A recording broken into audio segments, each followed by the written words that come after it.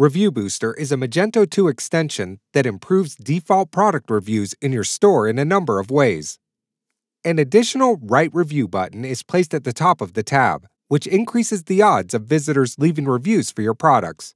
Besides, customers get to upvote useful reviews, describe products' pros and cons, and report abusive entries. Reviews by confirmed buyers have the verified mark, and the most helpful reviews show first in the Reviews tab. Another great addition is that your customers can see the number of votes each rating is based on, because a 5 star rating based on one vote is not the same as a 5 star rating based on, let's say, 300 votes. Your shoppers can use a convenient filter to see just the 5 star reviews, or just the 1 star reviews to quickly identify the product's strengths and weaknesses.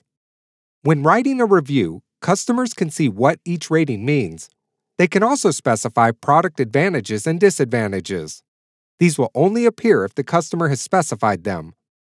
In the admin panel, you can edit product reviews, Let's say if you want to correct a typo or a grammar mistake and describe product pros and cons. Besides, there you can see all the upvotes, downvotes, and abuse reports submitted for this review. To create a new review from the admin panel, go to Marketing, Reviews, and click New Review. You will be taken to the product grid where you should choose the product to create a review for. In the form that pops up, you'll be able to specify product advantages and disadvantages in the same way customers can do it on the front end.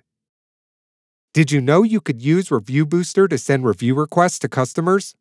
This will help you quickly increase the volume of product reviews, which is particularly valuable if you have just launched the store. Remember, 88% of shoppers trust online reviews as much as they trust personal recommendations. With plenty of useful product reviews in your store, not only do you reinforce product pages, but also provide better user experience.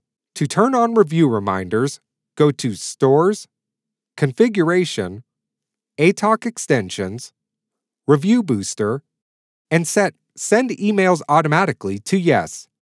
You can also choose the email sender and set a delay period after which these emails should be sent.